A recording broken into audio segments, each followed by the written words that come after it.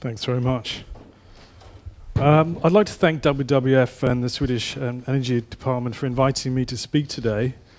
Uh, I'm going to tackle two or three things. First is the, the basic idea of um, unburnable carbon in the context of carbon budgets. And then I want to look at if you're an asset owner, if you're an investor in the fossil fuel sector, um, what, is, what do you need to do? What is your relationship with these companies? And what do you do at the portfolio level? So my background, I spent the last 25 years in asset management and uh, corporate finance in the City of London. And through that time, I saw a growing number of fossil fuel companies IPO and raise money. Coal particularly was popular, as was oil and gas. And during that time, there were more initiatives about climate and climate finance than uh, I was sort of NGOs almost. I was struck by everyone wanted to talk about climate. But the paradox was investors were allocating more and more capital to the fossil fuel industry. So um, I was intrigued to get the answer to a one question, which was if you added up all of the reserves owned by the world's largest coal, oil, and gas companies and converted those reserves to CO2, how much CO2 would you release? And I started playing around with these ideas about 10 years ago um, thinking that somebody else had done this is, is an obvious question to ask. And uh, not finding anyone to have done it in 2009, 2010, I set up Carbon Tracker and we produced our first report, Unburnable Carbon, Other Markets Carrying um, a Bubble. And then people sort of took the basics. Okay, we buy the, we buy the idea that there's more fossil fuels that's listed on markets and can possibly be burnt.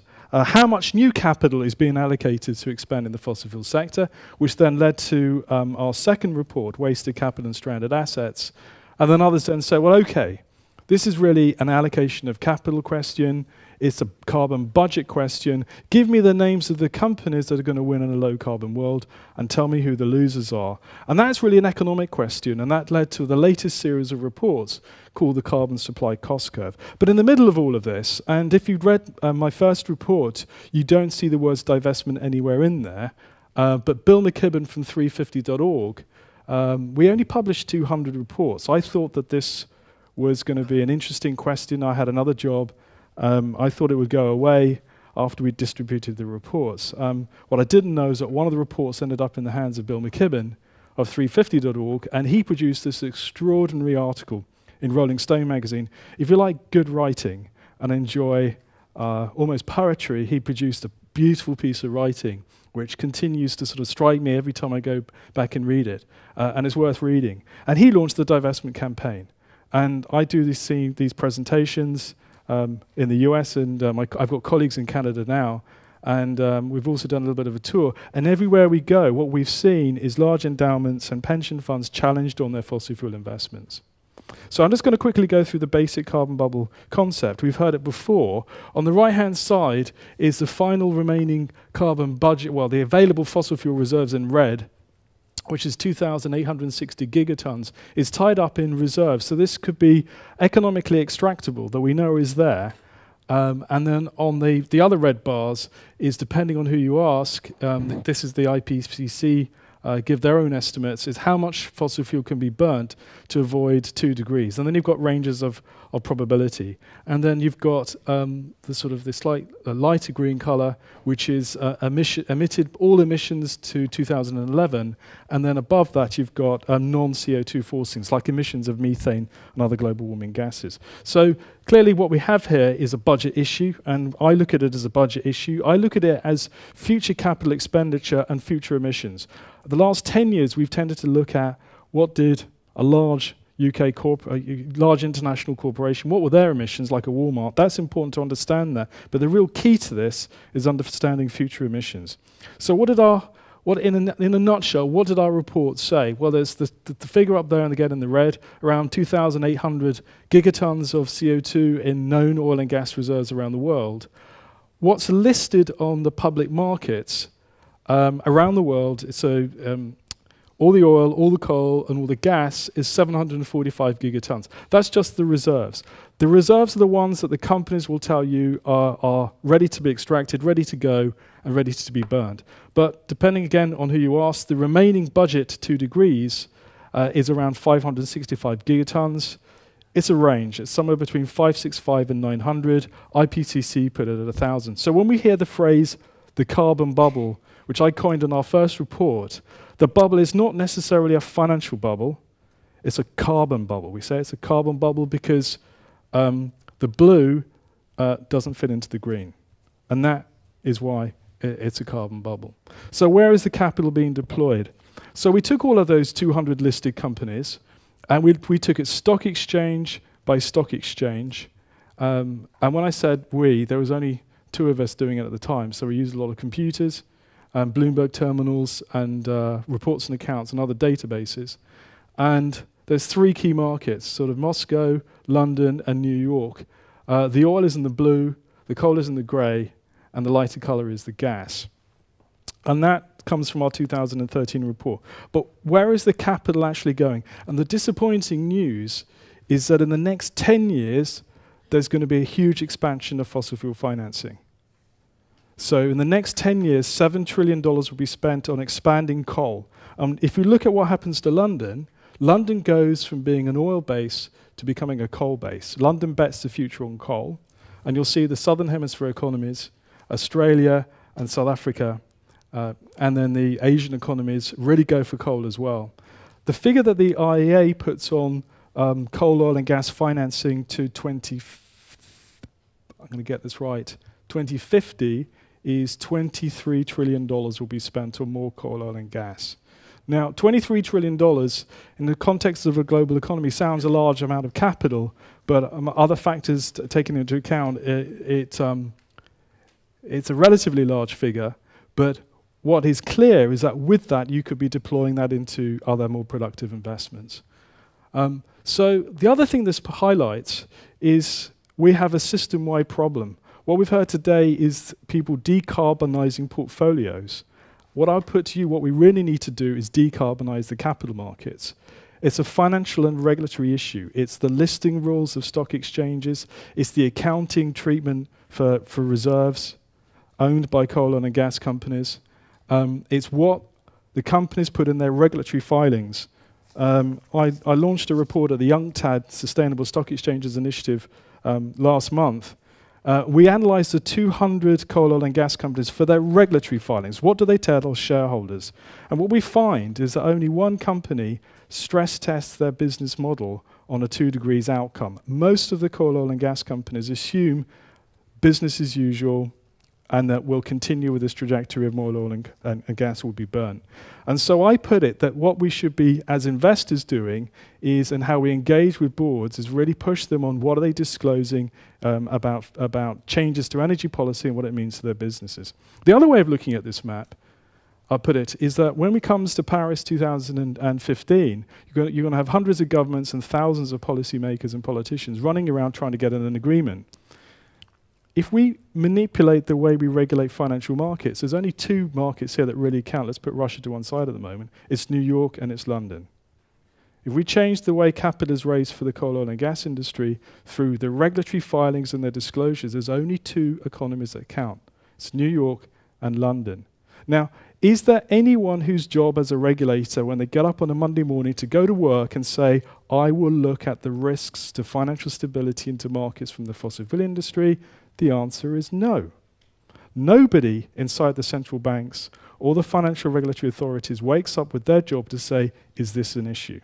And the reason for that is because politicians don't say it's an issue, and we don't have politicians engaged with the way financial markets are regulated by looking at climate. You'll hear them talk about financial stability, you'll talk about you hear them talk about financial reform and about Basel III, and you'll hear them talk about the banking systems, and you'll hear them talk about bankers' pay. But do they talk about this issue no, they don't. Until two weeks ago, Mark Carney, Governor of the Bank of England, says not all the fossil fuels can be burnt.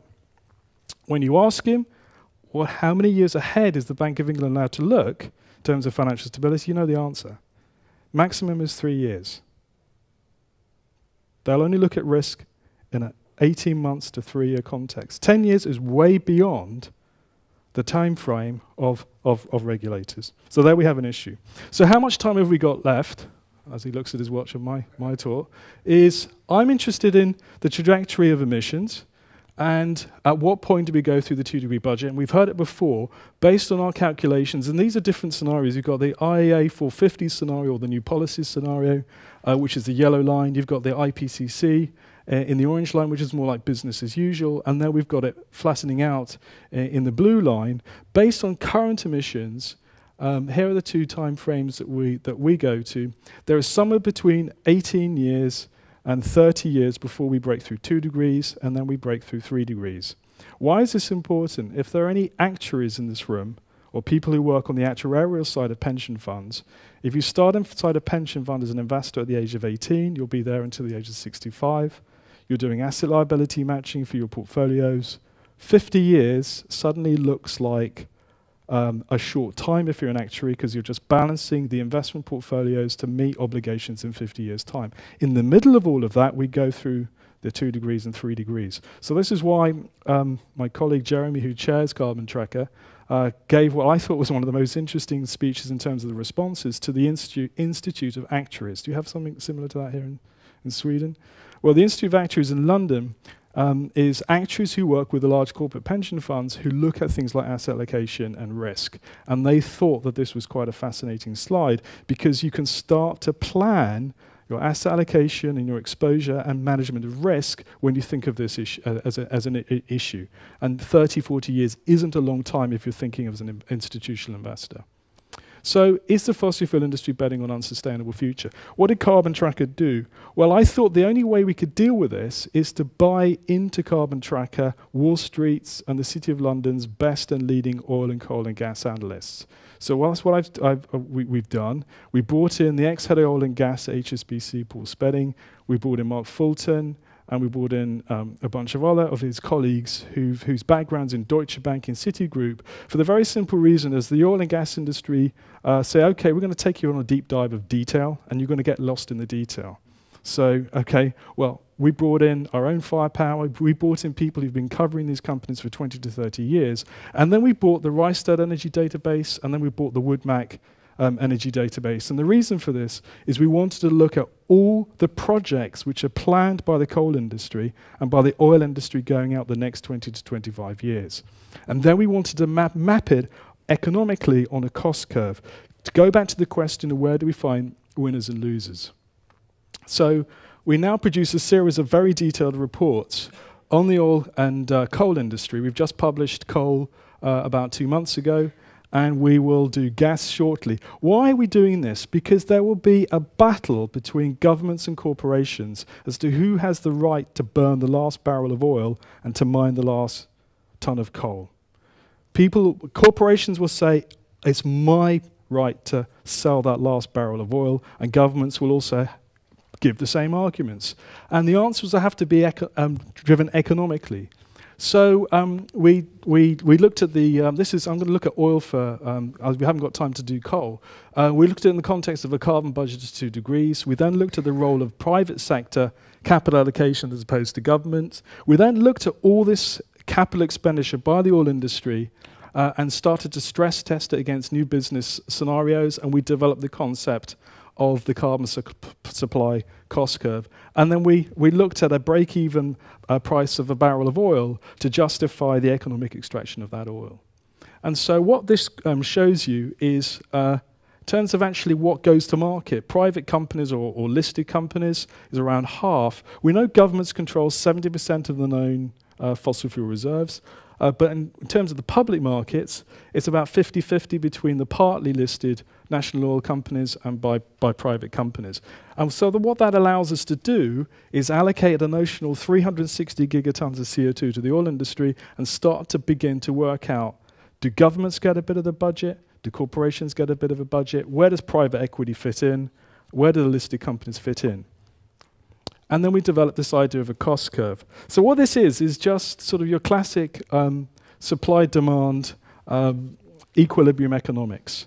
So you take a notional budget, which is the red line of 360 gigatons, so the CO2 runs along at the bottom up to 700 gigatons, and then you say, okay, let's map the costs of production for 8,000 oil projects around the world against this cost curve, and then work out at what price does supply and demand equal, which is around somewhere between 60 and 80, 85 dollars a barrel. We actually have a break-even um, price slightly higher than that. And what that will do is that if prices are below 80 dollars a barrel, it probably get produced. And if um, oil is at 150 dollars a barrel, the oil industry is going to produce all the way up to the type right-hand side of the of the cost curve. So, having got that basic analysis, we then went away and using the Rystad Energy database, we then looked at all the different oil projects and all the different oil companies. This is a report you can download off our, off our website, and we have three technical reports that sit behind this that go into demand scenarios and supply scenarios. So on the left, we have um, what projects have to achieve above $150 um, a, a price for a barrel of oil to actually make money. And what you're beginning to see here is that in the last few years, the cost of production for the oil industry has gone up all the easy oil's gone. If you want to explore in the Arctic, it's going to cost you over $100 a barrel to produce it. Where is oil today? $78, $80 a barrel. What we have is an oil industry investing shareholder funds in projects that don't make any money. Here's one of the secrets of the oil industry. Last year, it paid its dividends not from profits as a whole globally, it paid it from borrowings. It borrowed from the bank to pay dividends. When you hear people argue we need these companies to support because we need their dividends, the dividends aren't coming from the profits of the oil industry, it's coming from bank borrowings because they're investing in projects with negative returns on capital. So, what Carbon Tracker we're trying to do is build a narrative that says these are companies which are not profitable. If you're an owner of that company, what you ask them to do, should be asked them to do, is stop deploying capital in projects that don't make any money, and by the way, are outside of the two degrees carbon budget. And here's the other thing people have said, well, are you telling us to divest? We've never said to, to, to divest. If you don't deploy capital in um, projects which will be redundant, but return it to shareholders in the form of higher dividends or share buybacks, does your share price go down?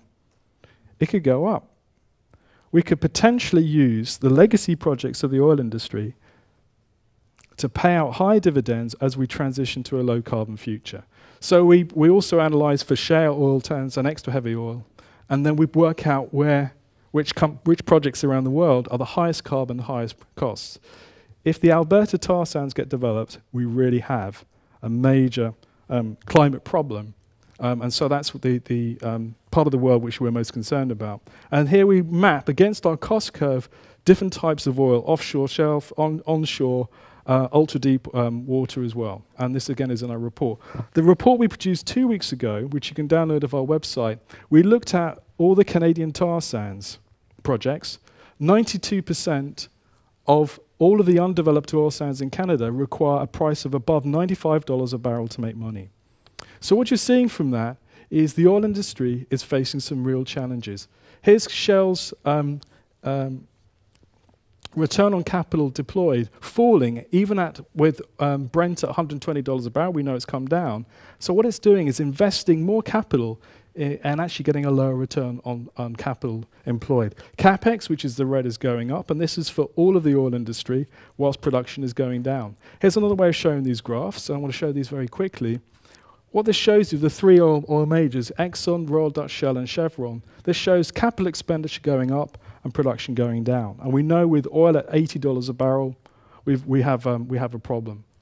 Um, and there it is um, falling. So, what are we saying to investors? The key thing is to engage with the boards of management. Part of what we should be really thinking of is what is the answer to the question who owns the company? Is it management or is it the shareholders? We have a tradition um, certainly in the US and the UK, um, that shareholders own companies and it's for the boards to justify their strategy. What we're saying to uh, institutional owners of these companies, engage with the boards, vote your shares, challenge capex, look at these. So, what we have here um, is our reports you can download. These are the seven oil and gas majors. We looked at all their capital expenditure and we're looking along this line who, who are the losers, who's at risk, and who are the survivors in a, in a, C, in a two degrees world, and car carbon constrained world. Probably going to stop on this slide so we can maybe have some questions. One of the, people one of the questions people asked us is is this a financial bubble? Is the unburnable carbon a financial bubble? And I want to answer that one directly. Um, we've not said it's a financial bubble. We've not said that. One of the reasons why is that the investment bankers are resisting doing the analysis. These are the sell side brokers. So if you work for one of the AP funds or one of the big asset managers, the, default position of the sell side banks is all the coal and the oil is going to get burnt. They don't accept two degrees or three degrees scenarios. And so in their models, they assume all the reserves will be extracted and all the resources will be extracted and all the capex will take place and there'll be the return on capital. Um, now, what I want them to do is reconfigure their models to assume that actually we're going to hit two degrees. And the reason for this, this is an HSBC slide, is what it shows you is what proportion of the share price is made up of revenues going out. And what you'll see for it, most of the valuation of a typical, well, any particular, uh, any company, but in this case an oil company, is made up, uh, most of it is going out 10, 15 years. Okay? But look at what proportion actually is beyond 10 years. 60% of the net present value of an oil company assumes revenues going out more than 10 years. And there we have the potential to do some analysis which would demonstrate that there is a financial problem. And I, would, I believe if the work was done, that we would find a situation that if we even got to three degrees, a lot of these companies are sitting on pretty shaky valuations. I'm going to stop, I'm going to stop there. Thanks Thank very you very much, Mark.